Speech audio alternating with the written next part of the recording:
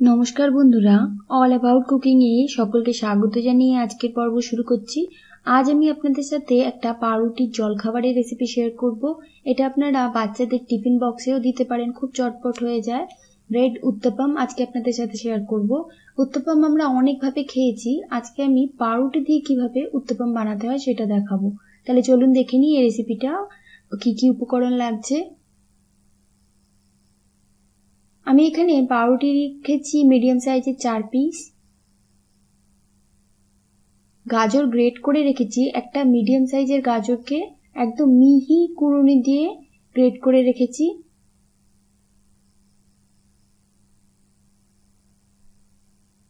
সুজি লাগছে half cup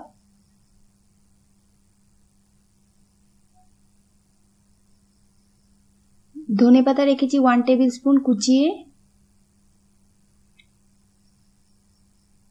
দই ফেটিয়ে রেখেছি হাফ কাপ মতো। কাঁচা লঙ্কা লাগছে দুটো, কুচিয়ে রেখেছি। ঝালটা নিজের পছন্দ অনুযায়ী নিয়ে নেবেন। টমেটো লাগছে একটা ছোট সাইজের, কুচিয়ে রেখেছি। নুন লাগছে হাফ টি স্পুন আর চিনি লাগছে হাফ টি স্পুন প্রথমে আমি পাউরুটিগুলোকে একটা গ্রাইন্ডিং জারে ছোট ছোট টুকরো করে নিয়ে নিচ্ছি। সবগুলোকে একইভাবে ছোট টুকরো করে নেব। এর সাথে আমি সুজি, দই আর নুন, চিনি মিশিয়ে একটা স্মুথ পেস্ট তৈরি করে নেব। প্রয়োজন অনুযায়ী জলও দিতে হবে এতে। নুন আর চিনিটাও দিয়ে দিচ্ছি। এবার ঢাকনাটা লাগিয়ে এটাকে একটা স্মুথ পেস্ট তৈরি করে নেব। এতে প্রায় হাফ কাপ মতো জলও দিয়েছিলাম আমি।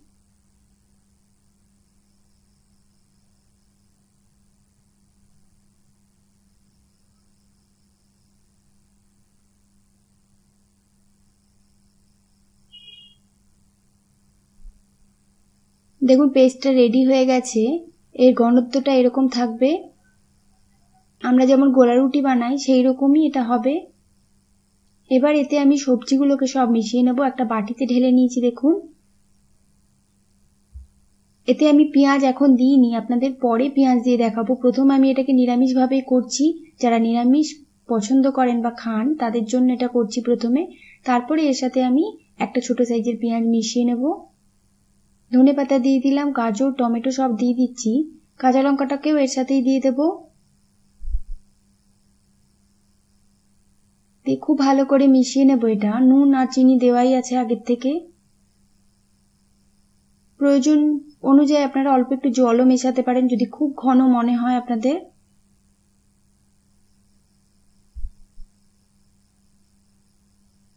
এবার এটাকে ভেজে নেব। অল্প তেল লাগে খুব। আমি এখানে সাদা তেল ইউজ করেছি। দেখুন, একটা তাওয়া বসিয়ে দিয়েছি। প্রথমে একটু বেশি তেল দিলাম। আপনারা চাইলে একদম তেল ব্রাশ করেও এটাকে বানাতে পারেন। সকালের জলখাবারে এটা একটা পারফেক্ট রেসিপি খুব চটপট হয়ে যায়। দশ মিনিটের মধ্যে আপনার সমস্ত রেসিপিটা কমপ্লিট হয়ে যাবে। দেড় হাতা করে দিয়ে দিলাম। একটু ছোট সাইজের রেখেছি, আপনারা চাইলে একটু বড়ও রাখতে পারেন। আমি একটু গোল করে দিচ্ছি। দিয়ে এটাকে প্রায় চার থেকে পাঁচ মিনিট সময় লাগে হতে। এটাকে মিডিয়াম আছে, এপিট ওপিট করে ভেজে নেব। তেলটাকে একটু ছড়িয়ে দিচ্ছি, দেখুন। এক মিনিটের জন্য ঢাকা দিয়ে দেবো মিডিয়াম ফ্লেমে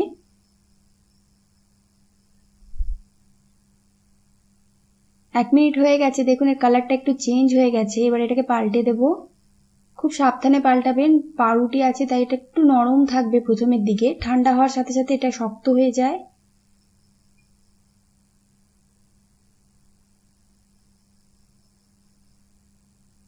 এপিটটাও একটু ভেজে নেব, দেখুন এটা রেডি হয়ে গেছে।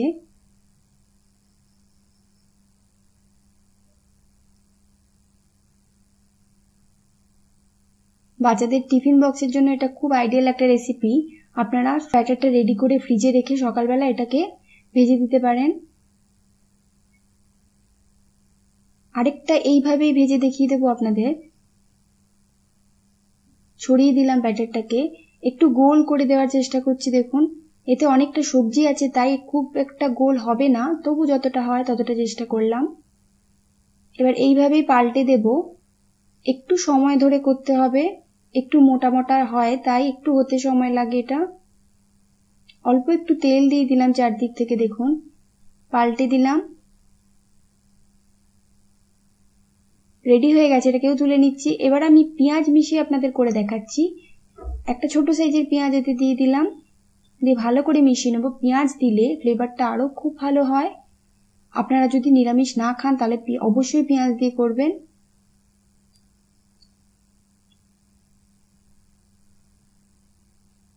তেলটা একটু ছড়িয়ে নিয়ে এটাকে একটা ভেজে আপনাদের দেখিয়ে দেব।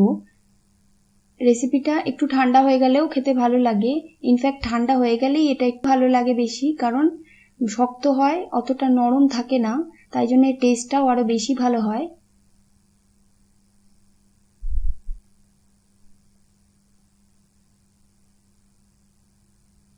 পাল্টে দিচ্ছি।